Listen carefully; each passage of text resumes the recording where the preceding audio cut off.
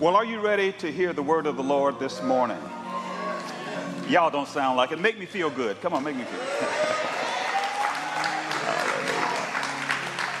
We're going to continue with another installment of um, the Household of Faith. Um, last week, we gave you an introduction, and we're going to go a little bit further this morning. But let's go ahead and pray and have our confession of faith, and then we'll get into uh, the remainder of the message. Father, thank you so much for allowing us to be here one more time. It's not because we're anything super special, it's simply because of your goodness, your mercy, and your grace. Father, we are about to sit down at the table and feast upon the bread of life this morning, the incorruptible seed, which is your word that is forever settled in heaven. We pray this morning that you would allow revelation knowledge to flow freely in this place, unhindered or uninterrupted by any satanic or demonic force. Touch our ears so that we can hear. Give us a mind so that we can understand. But most importantly, Father, I pray that we would take a few moments to examine ourselves. The Bible says we are to examine ourselves, specifically our hearts, to make sure that there is nothing there that would prevent the word from doing exactly what it's supposed to do. Because, Lord, you said if your word falls upon the good ground of a pure heart, of an honest heart, it will produce a harvest, some 30, some 60, and some a hundredfold. And so, Father, we pray as David prayed, Lord, create within us a clean heart and renew a right spirit within us. Now, Father God, the only reason that we are still here, every single person in this building, the reason that we are still alive is because you are not done with us yet. You are the author and you are the finisher of our faith. And so we just ask you to continue to do a work in us. And God, you told Jeremiah the prophet, you said, Before I formed you in the belly, I knew you, called you, and I sanctified you. And so, Father, I'm humbly asking you that what you saw me doing in eternity before I was ever placed in my mother's womb, before time ever began, I pray that what you saw planned and purposed for my life would manifest itself this morning here in the presence of your people. And in so doing, I pray that we all would give your name the glory and the honor. Hallelujah. Because this was not by power nor by might, but by your spirit. And even now, it is still wonderful and marvelous in our eyes. And so we thank you, Father, and we believe that we have received everything we just asked for. In the wonderful, the marvelous, the majestic, the matchless name of Jesus, King of kings and Lord of lords. And all that did agree said, Amen and amen. Please take your Bibles or any other electronic devices that you may have and uh, lift them up and repeat after me. This is my Bible. I am what it says I am. I have what it says I have. And I can do exactly what it says I can do. I am a believer. I'm not a doubter. I am a doer and not just a hearer.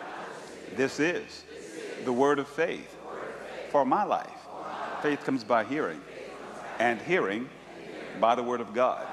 And I shall be all the better after having heard God's word. Do you truly believe that? Could I get you to just give him praise one more time?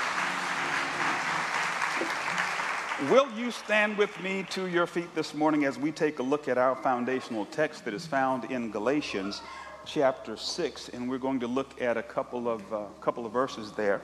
Galatians chapter 6, verses 9 and 10. Y'all gonna help Pastor read this morning? Let's go. And let us not be weary in well doing. How many of you would like to know when due season is? Wouldn't it be nice if due season was a day and a time and you knew what, when all of your sacrificial work was going to pay off? It says, Let us not be weary in well doing. All right, next verse says, as we have therefore opportunity.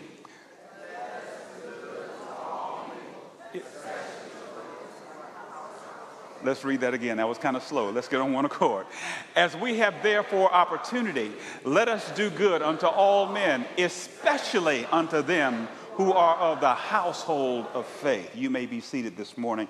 And so we're doing another uh, installation on the household of faith. And, and this morning, the subtitle of this message is Do You Have Keys to the House? Has anybody asked you, Do you have keys to the house? Um, last week, when we looked at this verse, we talked about uh, really community in the church and what it should feel like because we are a part of a family of believers, and it's referred to as the household of faith. The word household and the word families are used interchangeably, and they are synonymous with one another because households are made of families.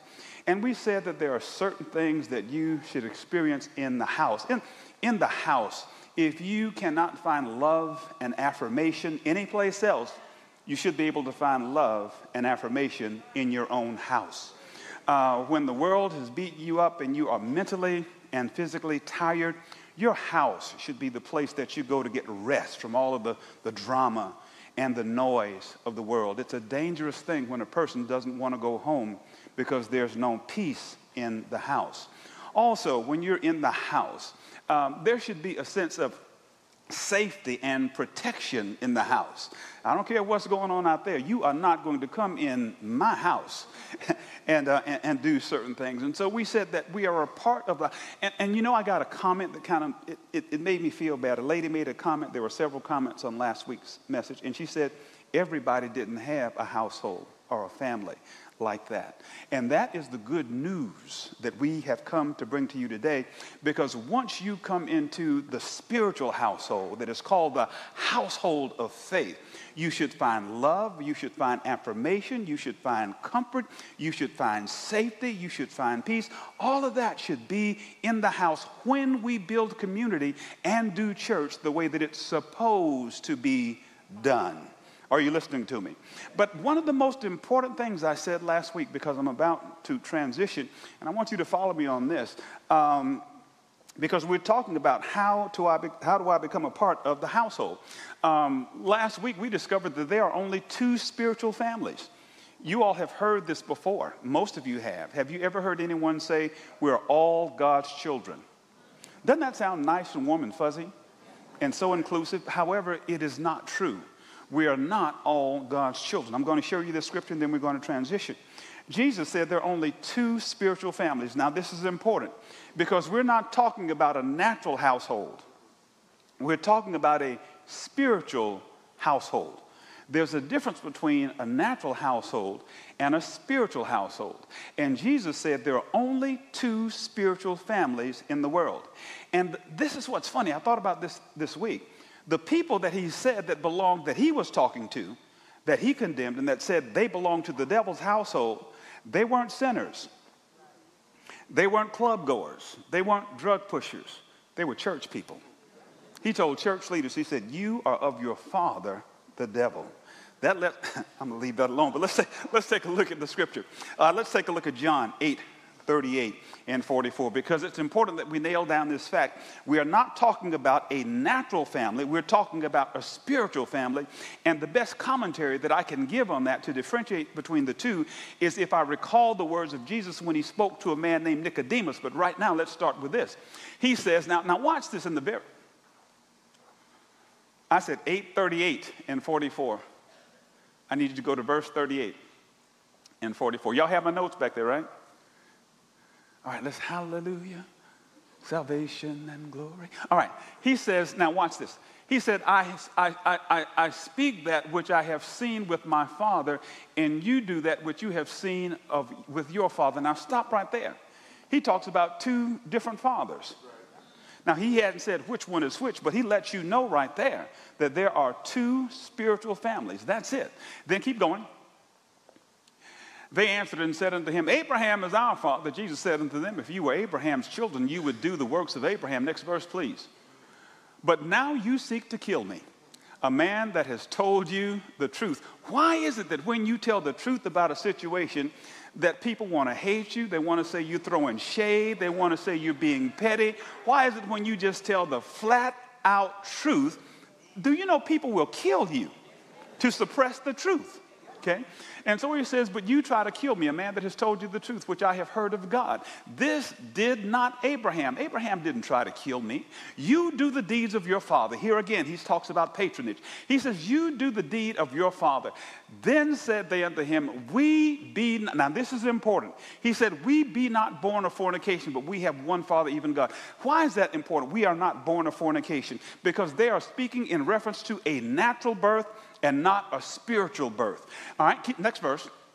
Jesus said unto them, If God were your father, you would love me, for I proceeded forth and came from God. Neither came I of myself, but he sent me. Why do you not understand my speech? Even because you cannot hear my word. Next verse. You are of your father, the devil. Only two spiritual families. So, no, we are not all God's children. If you are not in this house, and there's only one key, we're going to talk about that later on to get into this house. He was a murderer from the beginning and abode not in the truth. And this is why God hates lying. He abode not in the truth because there is no truth in him. When he speaketh a lie, he speaketh of his own, for he is a liar and the father of it. Do You, did you understand what I just read? And so Jesus clearly shows us that there are only two spiritual fathers, two spiritual households. Either you belong to the one and or you belong to the other. Nicodemus wrestled with this concept. And so we're again, we're, what are we talking about today? Keys. Do you have keys to the house? Subtitle. Okay. Now look at this conversation that Jesus has with Nicodemus because Nicodemus uh, was struggling with this concept. Now, it's important that you know who Nicodemus was. Nicodemus was a preacher, he was what we would call a preacher. Uh, a religious leader of the day, and he belonged to a group of people called the Sanhedrin Council. These were people who persecuted the ministry of Jesus. The enti- as a matter of fact, they were instrumental in the death of Jesus. And he belonged to them. And so, what he does is, because he doesn't want his boys to know, is he sneaks away at nighttime and he comes to interview this young country preacher that's doing all of these miracles. So let's take a look at that. Uh, John chapter 3. John chapter 3. Um, you guys have my notes, right? Go to the Gospel of John, chapter 3, the first eight verses. John chapter 3. Hallelujah. It says there was a man of the Pharisees named Nicodemus. Does anybody know what Nicodemus' name means in the Greek? A lot of you wear his shoes. Nike. Nicodemus means he who is victorious among his people. Nico, Nike, victory. All right? So he had a winning name from the start. He was a ruler of the Jews. Continue. The same came to Jesus by night and said unto him, Rabbi, now look at this. He condemns their entire assembly. Y'all missed this. What Nicodemus says condemns the entire assembly of the Sanhedrin and the Pharisees because he admits openly, we know who you are, but we'll never admit it. He says, We know that thou art a teacher come from God. For no man can do these miracles that thou doest except God be with him. Keep going. I'm showing you the difference between the natural birth and the spiritual birth because remember, how many spiritual families are we? Are there? And we want to make sure we're in the right household, right? Okay. And so he says, Jesus answered unto him and said, Verily, verily, I say unto thee, except a man be born again, he cannot enter the kingdom of God. We could put household of faith right there and it would be the same. He cannot enter the house of God. Nicodemus said, again, he's thinking on natural. Can I tell you something? You can't see spiritual concepts with natural eyes. That's how come you have people that aren't saved. They ridicule things that we do in the church because they're spiritual in nature and it doesn't make any sense to them because they're looking at a spiritual thing through natural lenses and it will never work. And so Nicodemus says, How can a man be born when he is old? Can he enter the second time into his mother's womb and be born? Next verse. Where are you going? I'm preaching the gospel. Where are you going? Oh, okay. All right. yeah. If you've never been here, we got it like that. All right. All right, let's go. All right. Nicodemus saith unto him, How can a man be? All right, now, next verse. Go ahead, I'm sorry. Jesus answered, Verily, verily, I say unto thee, except a man be born of the water and of the Spirit, he cannot enter the kingdom of God. Do you know that theologians have argued and fought over this one verse for years? And it is so, so simple. He's talking about two different births one natural and one spiritual. The spiritual will never come before the natural. Will, this is another sermon I preach. Uh, you will always see the natural before you see the spiritual. And so he says, born of the water. Now, your natural birth, when all of us were born, unless you were in vitro or something, I think that it still applies there. Um, we were in this watery space. Uh, and, and, we call that, uh, you know, when a woman, what, what's that called? Em- embryonic fluid. Isn't it amazing how God created us? That we can live in that fluid, in that space. We can breathe the fluid. We can exhale the fluid We can receive nutrients while we're there. But even though you can breathe that water and that fluid, as soon as you are born and you say, you can never breathe water again. Okay. And so the, the, indicator that a woman is getting ready to, to give birth, one of the indicators is that her water does what? It, it breaks because our natural birth is from the water. But he says there is another birth that's of the spirit. spirit. All right, keep going.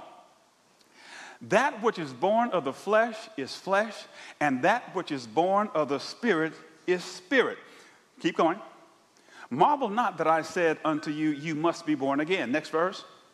The way, and, and this is how he describes it. See, we had, a, we had a problem trying to, because it felt so unusual until when we tried to articulate it and put it into music, we lied about it because we couldn't explain it. Y'all don't remember? I looked at my hands and my hands looked new.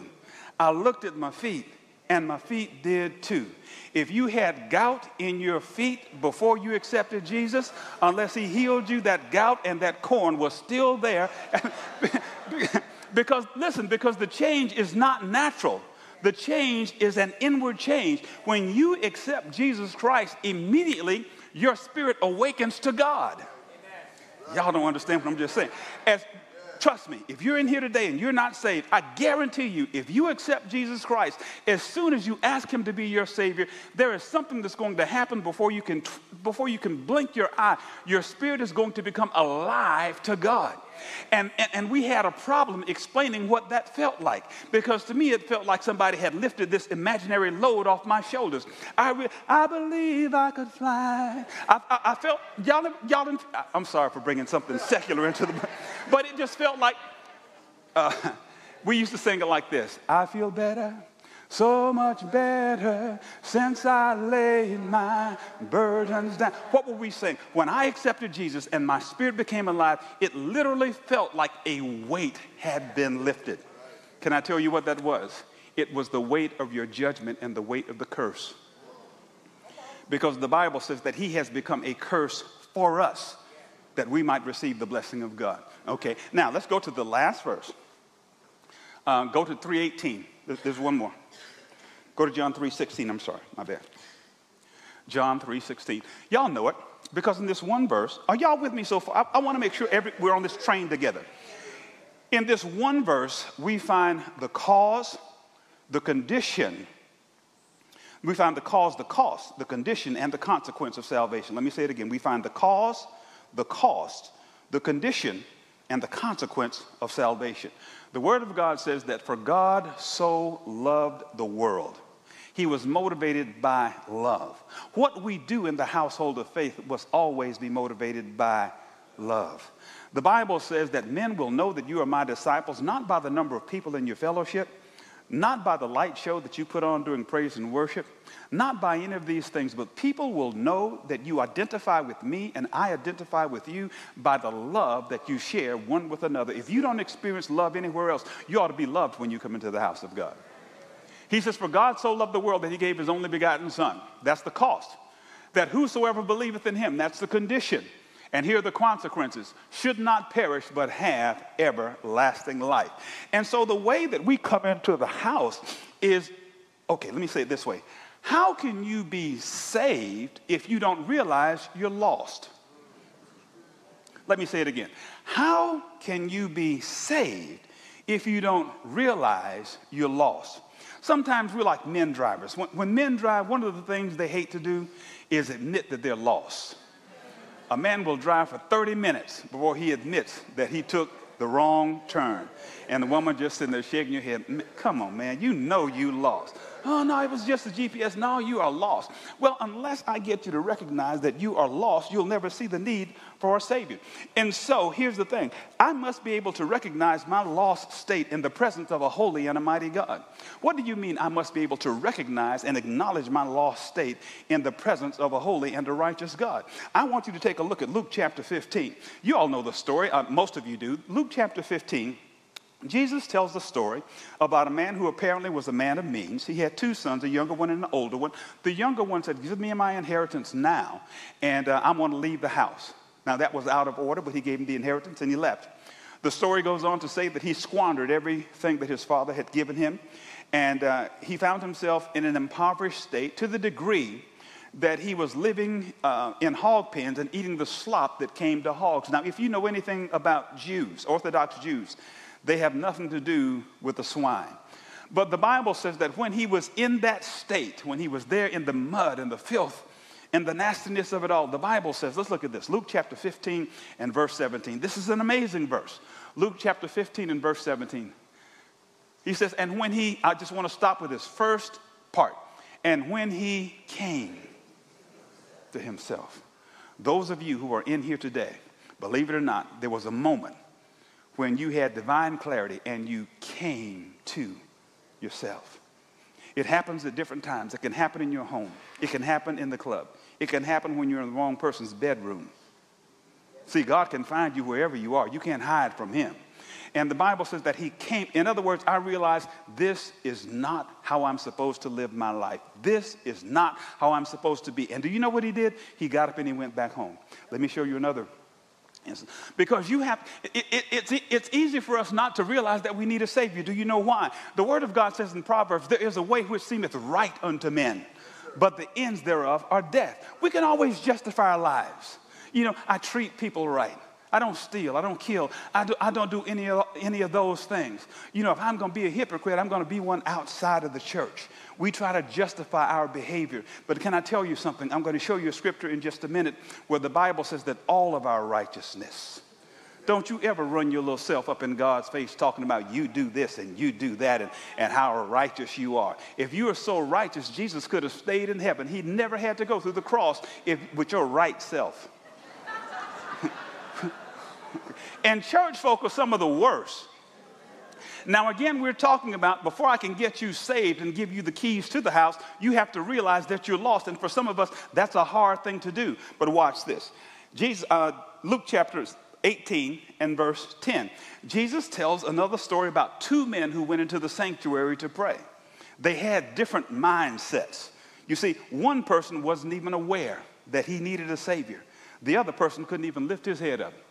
All he could do is say, Lord, have mercy.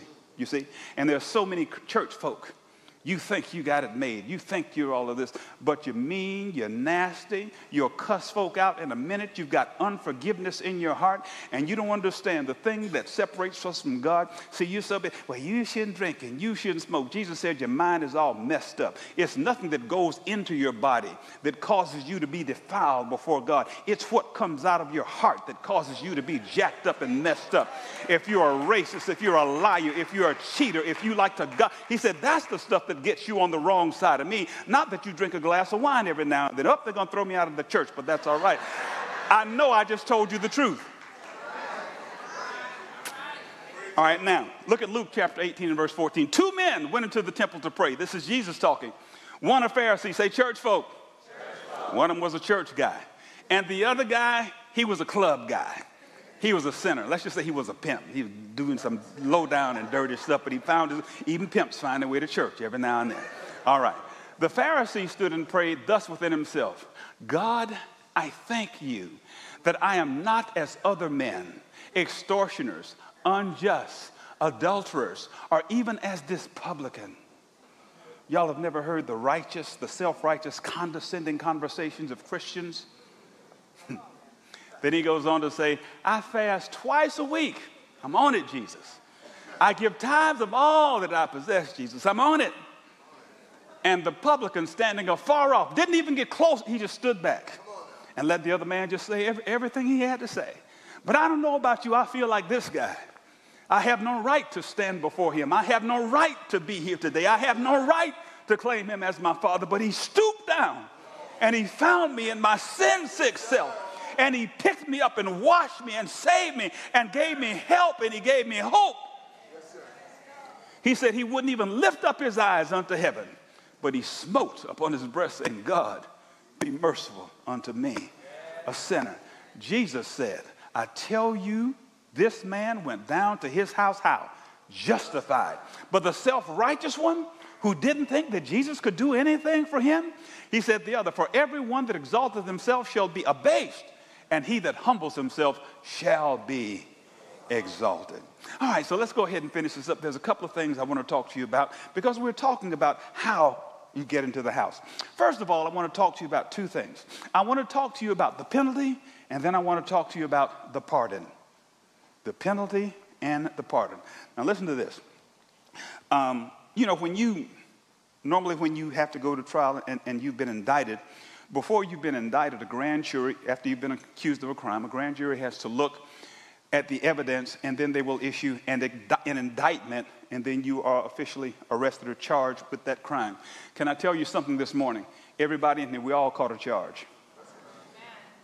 I'm going to say it again. Every one of us in here, as far as God is concerned, we all have caught a charge. Every one of us in here was found guilty. Every pope, every bishop, every apostle, I don't care what your title is or how many robes you put on. The Bible says we all have been found guilty. Let me show you this in Scripture. Take a look at this. Um, look at Romans chapter 3 and verse number 10. See, how can you get, how can anybody get saved unless you realize the wretched state that you're in? I don't care what kind of car you drive.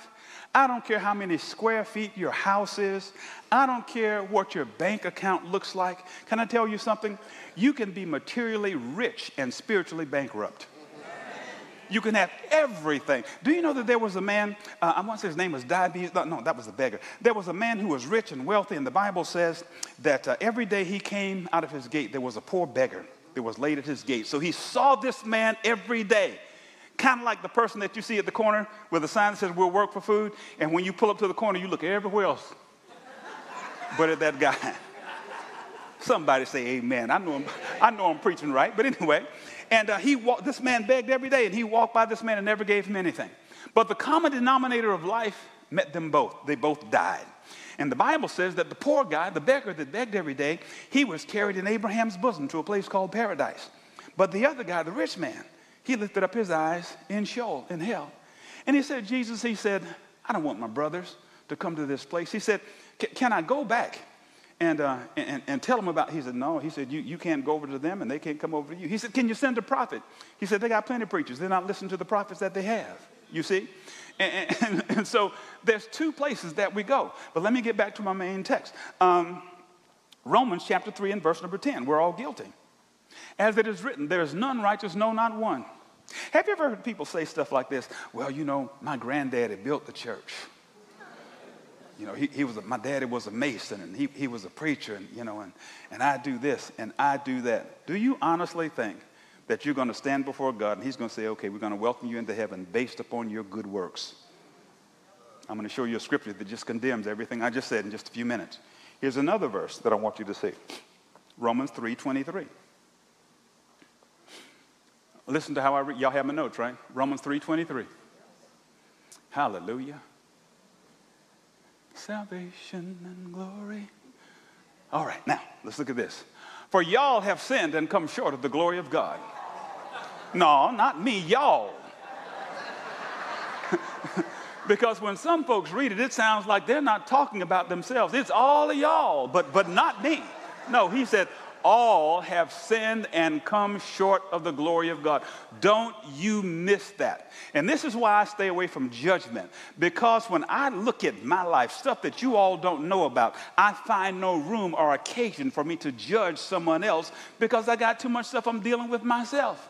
You see? And so I can't look at you and say, y'all have sinned. I don't care what the situation is or how awesome or how ugly it sounds. When I get by myself and I process that, not as a pastor, but as a person, I cannot judge anyone else's behavior because I have to stay on my knees and pray to God to keep the blood covering me. So all have sinned and we've come short of the glory of God. I want to give you one more. I'm driving home a point. Look at Isaiah chapter 64 and 6. We're talking about keys to the house. How do I get into the house? And right now we're talking about the penalty and the pardon. Isaiah 64 and 6 says this, but we're all an unclean thing. See, I know you me? I know he's not talking about me. I take a bath. I, have got good hygiene. I ain't stink. I got on some sure right now. Amen.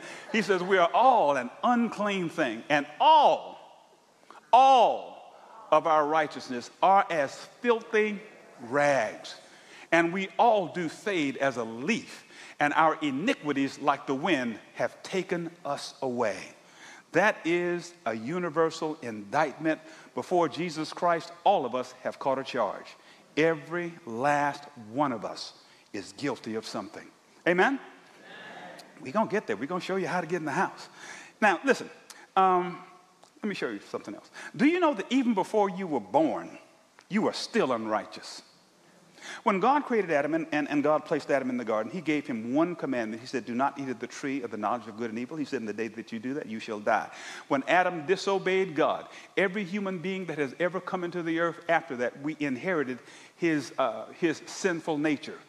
We inherited his nature to disobey. If you don't believe that, one of the most amazing things in this season of my life, you got to learn how to recognize what season that you're in, is just watching my young grandson grow up.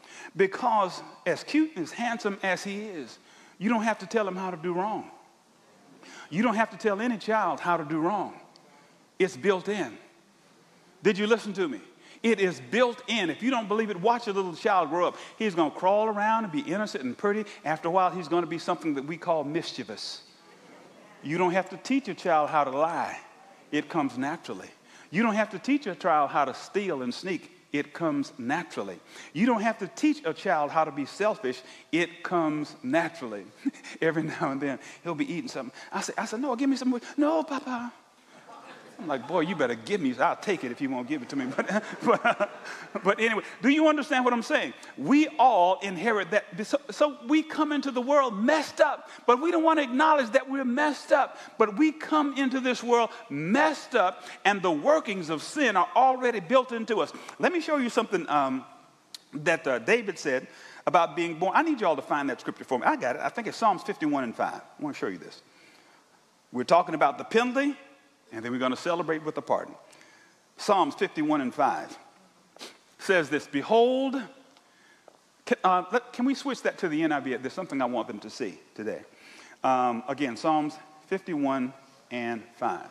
It says this Surely I was sinful at birth. Isn't that a hard pill to swallow? Surely I was sinful at birth. Sinful from the time my mother conceived me. He said, Behold, I was shapen in iniquity, and in sin did my mother conceive me. We were born of sinful flesh. Oh, no, no, not me, Pastor. My, my mother was a deacon when I was born, and, and, and, and, my father was a pastor when I was born. As a matter of fact, they told me a story that when I was in my mother's womb, it, it, it, it wasn't, you know, embryonic fluid. I, I was, it was, it, it, was, it, was, it was anointing oil. And when I was born, I came out shining and speaking in tongues. Amen. But David said, No, that's not the case. He said, Behold, I was shapen in iniquity, and in sin did my mother conceive me. The nature was already built into me. That's why when we come into this earth, it is easier for us to do something sinful than it is for us to do something righteous. Do you know the Bible says learn to do good? We have to be taught. Remember, I told you last week, I said home is the place of first instruction, the household. That's where we learn things called manners. That's where we learn home training. Okay? Are y'all with me so far? Am I boring you yet? All right. Now, let's take a look at this Romans 5 and 12. It is our nature. Romans 5 and 12 says this. We'll see what it says in just a minute. Uh, it says, Wherefore, as by one man, Look at this, because remember I told you we all inherited Adam's sinful nature. The Bible says, as by one man sin entered the world, and death by sin, and so death passed upon to who, how many men? All. How many? All. For that who has sinned? All. Just raise your hand and say, I was guilty. Yeah, please, please, don't hold your hand down. Just put it up and say. I was guilty. Yeah, we were. All right. Now, even our own nature even after we're saved, our own nature, our own struggle testifies to the fact that we inherited Adam's sinful nature. Look at Romans. Paul talked about it. How many of you ever said, you know, I'm not going to do that anymore? And before the end of the day, you did it? And then you got upset with yourself because you did it? And then when you really thought about it, you couldn't figure out why you did it. Have you ever sinned and said, and then after, after your flesh was satisfied, you said this, I don't know why I did that. I didn't even want to do that when I started and now you're feeling bad. Do you know why you're feeling bad? Because the Holy Ghost lives in you. And before you did that, the Holy Spirit was trying to tell you, don't do that. Don't do that. You tried to call the person for the hookup and all the lines were down. When you got ready to go and see them, you had a flat tire, had to call AAA to boost you off. When you got to the hookup point, they left because you were late. And you all upset and you don't realize God was trying to help your little silly butt right then. Uh, Y'all never had, you didn't realize it was God keeping you, but God has, a lot of stuff God kept us, and, and we were mad at Him because He kept us. All right? What, okay, now look at Paul, what Paul talks about in Romans chapter 7. Paul says, now, now understand who I'm talking about. I'm not just talking about any preacher, I'm talking about the Apostle Paul. The Apostle Paul, who by revelation wrote 75% of the New Testament. The apostle Paul, who opened blind eyes, called men from the dead, who cast out demons. This apostle Paul, look at what he says. He says, Wherefore, as by, nah, Romans chapter 7, Romans chapter 7, verses 18 through 20. Let's just be patient. Let's love, because we're all in one family. We're going to love on everybody. Even the sound booth people, we're going to love on them. Hallelujah. Amen. Romans chapter 7. And uh, can y'all get me Romans chapter 7 and verse 18, please? Romans chapter 7 and verse number 18. We got it? All right. For I know that in me, I wish we all would come to this revelation, because sometimes we think we're all of that in a bag of chips. He says, For I know that in me, that is in my flesh, dwelleth no good thing. Flesh. It's not so much talking about the skin, as it is our fallen nature. There is nothing good about our fallen nature. He says, For to will is present with me, but how to perform that which is good, he said, I, I find not. Have you ever been to the altar with tears running down your face? And you felt that at that moment, I have now experienced the deliverance of God, and I will never, ever go back there again. When she calls me or he calls me again, I'm going to hang up the phone and say, I'm a, I'm a new creature in Christ. That's what you said when you were at the altar. Around Wednesday, around about 8 o'clock, you got a phone call. You know, girl, I've been thinking about you, and, uh, you know, I really want to get serious in life, and um, I, I, don't want, you know, I'm tired of wilding out, you know. Um, I want to settle down tired of running around. I would do it again if I can. Y'all don't know it's an old song, but anyway. And uh, can, can, can I come over and talk about it?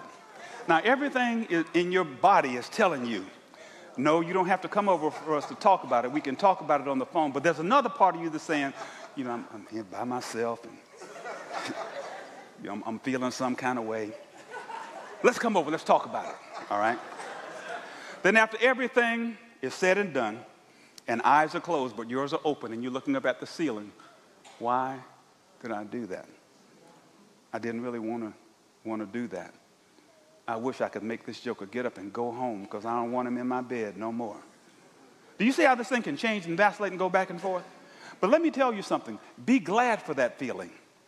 Because if that feeling goes away, you're in trouble when you can sin without any type of conviction, not condemnation, but when you can sin without any type of conviction, when you can cuss people out and feel nothing, when you can say malicious and mean things and, and feel absolutely nothing, when you can look somebody straight in the eye and tell a bald faced lie and feel absolutely nothing, you are in trouble with the Holy Ghost because the Holy Ghost is an indicator. How many of you have a, listen, maybe you don't know it, but in your car, you have a light that very rarely comes on, but there's a light that's called the check. When the check engine is light is on, listen, your car will still start with the check engine light on. You can still drive your car with the check engine light on. You can go anywhere you want to with the check engine light on. But what that light is telling you, there's something wrong with the mechanical mechanisms of this car. And if you keep operating like that with the check engine light on, after a while, something is going to break. How loud is the Holy Spirit screaming out in your life? And there's this red flashing light says, check engine, check engine. The way you behaved in the grocery store, check the engine light. The way you behaved toward your spouse, check the engine light. The way you gossiped and lied on that preacher, check your engine light. Y'all can sit there like you don't know what I'm talking about, but you know exactly what I'm talking about. And so Paul says, let, us let, keep going. I didn't finish that. He says, For the good I would do, I do not. But the evil which I would not, that I do. You know what? Every now and then, God will give you a moment to pause before you do evil. When I start talking about evil, I don't get a whole lot of amens. But uh, sometimes when I'm driving, before I'm getting ready to do evil, if, if God doesn't tell me I have a person sitting to my right normally, who is God in the car. All right? And she, she must be just right up there with God because she knows when I'm going to do wrong before I do it. If somebody passes me wrong, she'll say, uh uh uh, because she already knows. Now I'm at the point where I pause and I reflect and I think about if an accident happens, what if this happens? Because something happened to me not too long ago. I, one of my little cars is very, very fast. And I was going down the road one day with the top down. And you know how, you, how you're in this lane, here's another lane, and this is going slow, and I need to get over here and pass, right? So when I sped up, this guy sped up. So we were doing about 90 or so, you know. And we were coming up behind a trailer. I'll never will forget this. Y'all laughing, but this was serious to me. Had lawnmower stuff on it. And so I dropped it to another gear and I hit it, right? So now I'm doing about 100 and something. Deborah's sitting over there, she, her nails are digging into the dashboard. and when I get up behind this car, I didn't, listen to me, I didn't even know if I was going to make it. I just swerved over, doing all, over 100 miles an hour. And I thought about this. What if that car had clipped the back end of your car? Your car is down. You may have seatbelts on, but your wife's going to get thrown out. You're going to get thrown out. Your family could be without a father. Your church could be without a pastor, all because of some foolishness you're doing out here on the road. And so I said that to say this every now and then, God will give us grace, and we will start to pause and reflect before we act. Y'all have never been there? If you hadn't, just keep on living. I promise you, you're going to get to a place where before you act, you're going to stop and pause. All right, now watch this. Let's keep going. He said, Now, if I do that, I would not. He says, No more I, uh, that do it. He said, but it's, it's sin that dwells in me, you see. And so all of us can relate to Paul, you see. And that's why we're talking about the penalty. Let's go ahead and shift to the pardon. Because do you understand when you talk about how to get in the household, that all of us really should be locked out? You miss what I just said. When you talk about this household of faith, every one of us should be locked out. But let me show you something. How do I get in the Ask your neighbor, say, Pastor, how do I get in the house? One more scripture before we talk about the pardon. Romans 6:23.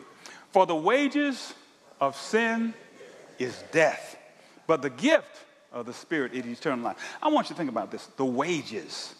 Wages are something that you earn. Isn't it a horrible thing to live your life raising hell and then go to hell? Now, it's important that you understand what hell is. Okay. Hell, in God's mind, is eternal separation from the life and the light and the love of God. Now, I want you to understand this what hell is like, okay? The Bible says that God is light and in him is no darkness at all. If you take away the presence of light, what do you have? Most of you have never seen the kind of darkness that I'm talking about.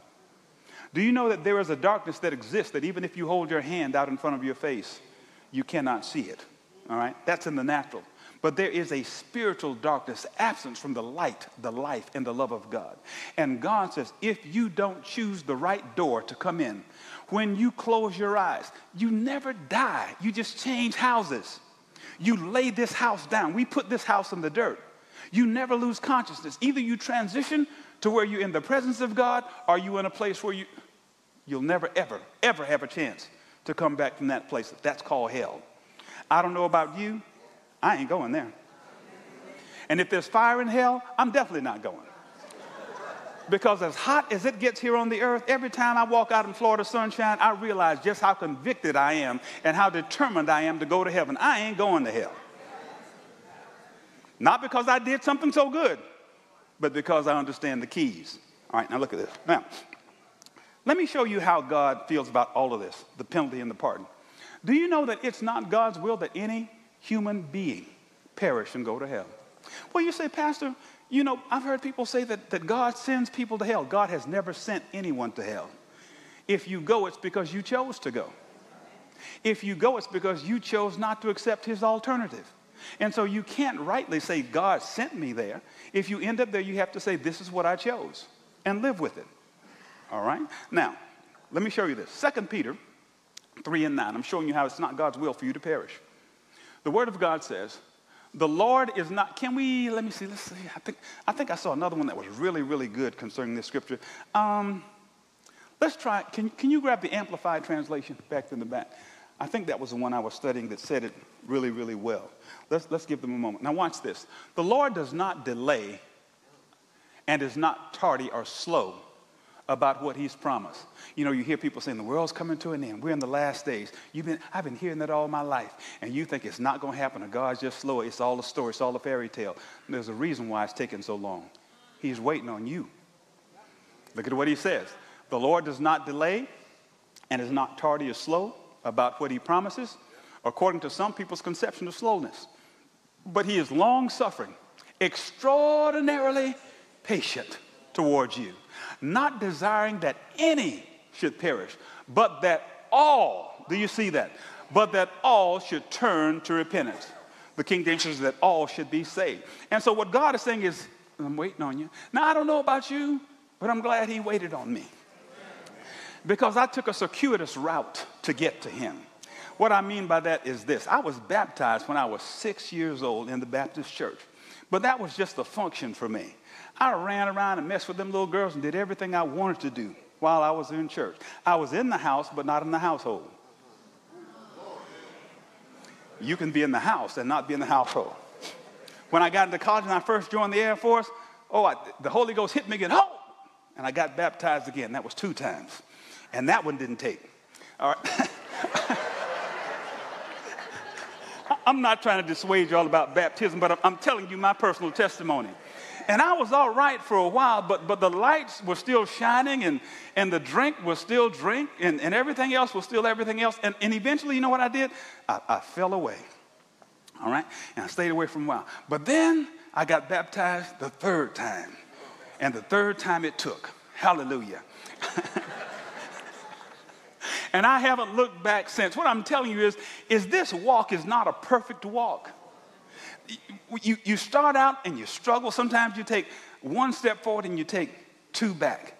But if you stay with the Lord, after a while, you'll start taking two steps forward and one back. After a while, you'll start taking three steps forward and one back. After a while, you start saying, I won't look back. I can't go. And you going about your business, you see? But it is a process. And the way that the old folk used to sing, sing it, they sing it like this Hold to his hand, God's unchanging hand. You ought to hold. Y'all remember that? Okay. yeah, y'all Baptists. All right. now, so we can agree that God doesn't want us to go to hell. If we go to hell, it's because of what we did, not what he did. All right, now let's look at this. God loves you so much that he paid the ultimate sacrifice. John 3:16. For God so loved the world that he gave his only begotten son. Here's how you get the key. And he that believes on him should not perish, but have everlasting life. Isaiah said it this way He was wounded for our transgressions, he was bruised for our iniquities. And the chastisement of our peace. Pastor, what do you mean the chastisement of our peace? Everything that you saw Jesus go through, the humiliation, the pain, the suffering, the beating, all of that, that and more should have been our punishment. And so when he was hanging there on the grave, on the cross, most of us thought that the Roman government and the Sanhedrin put him to death. It really had very little to do with that. What was happening is something that was spiritual in dynamic that they could not see.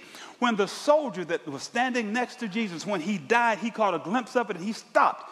He said, Surely, surely, this must be the Son of God. Even Herod's wife had a dream, and God tried to tell her, and she woke up and she went and told her husband, You know what? Don't you bother this man. We need to leave this man alone. The spiritual dynamic was so awesome that when Jesus hung his head and gave up the ghost, the Bible said that there was a violent earthquake that shook the ground. The Bible says there was a complete solar eclipse. The sun went away in blood. The Bible says that graves shook so hard that dead people got up and walked the streets of Jerusalem while he died. They, I feel like, mm, they hung him high and they stretched him wide. They laughed at him and mocked him while he was on the cross. And they didn't realize that their blood was on him. He was dying for them. Then he hung his head and he gave up the ghost. The disciples were crying. Mary was crying. The apostles had run away in fear. And they took his broken, battered body down and they wrapped it up. And it was not even enough money to buy him a tomb. They had to borrow a tomb. You know what's Nicodemus? Guess what? Nicodemus donated a tomb for Jesus to be buried in. And they put him in that tomb and they shut the tomb. And everybody went away crying. Everybody went away thinking that, wow, we put our hopes in this guy. He said he was the Son of God. We thought he was the Messiah. We thought he was going to turn things around for us. And they walked away, heads down and disheartened. But a few days later, Mary and Martha said, let's, let, let's go and let's anoint his dead body. They were so overtaken with sorrow, they forgot about something. They forgot that if we get there, while they were walking, it dawned upon them, we can't roll the stone away. We're two women. But when they got there, they looked and, ooh, somebody rolled away. And then they saw this guy big and bold and standing. And he said, Why seek you the living among the dead? He is not here. He is risen. And they ran back and told the disciples, I don't know about you, but I'm glad he got up. I'm glad he got up. He conquered death. He conquered hell. He conquered the grave, the grave. He conquered the devil. He got up with all power in his hands. He took my sin. He took my judgment. He took my condemnation. He gave me his righteousness. He me his right. He gave me the keys. And now I'm a part of the household. If you're in the house, stand to your feet and celebrate. I'm in the house. Hallelujah. Hallelujah.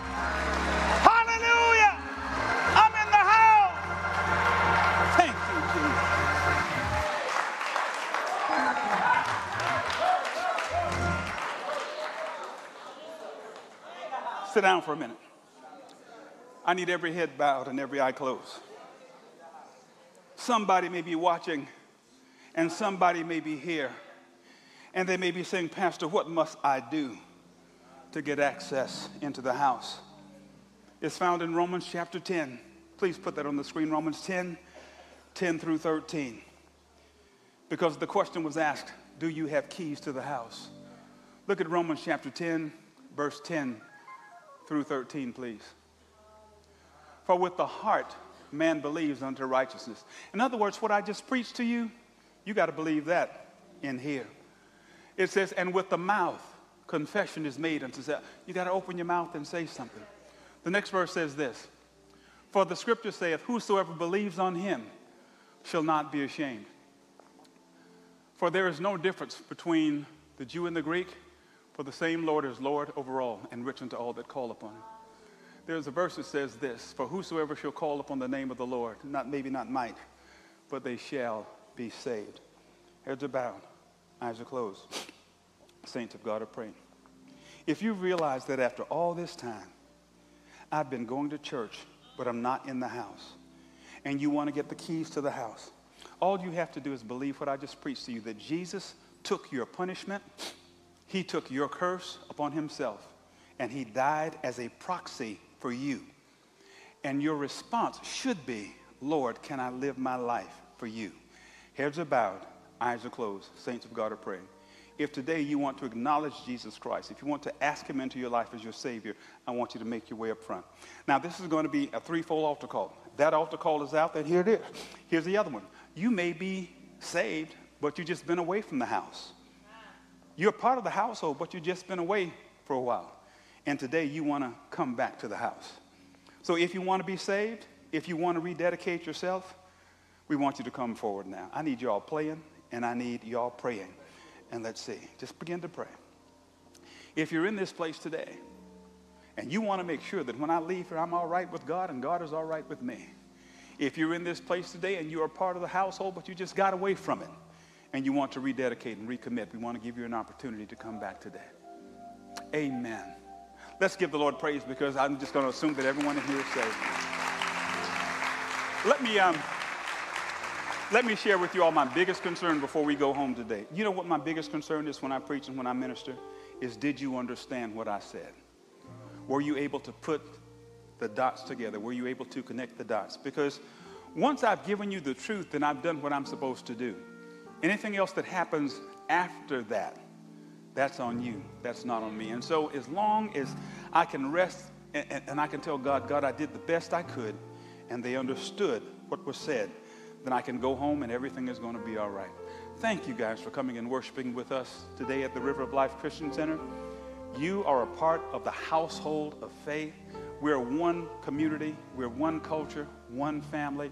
And if you're not a part of this family, please just pray and, and, talk to the Lord about it. We really would have, we really want you to be a part of our household. Amen?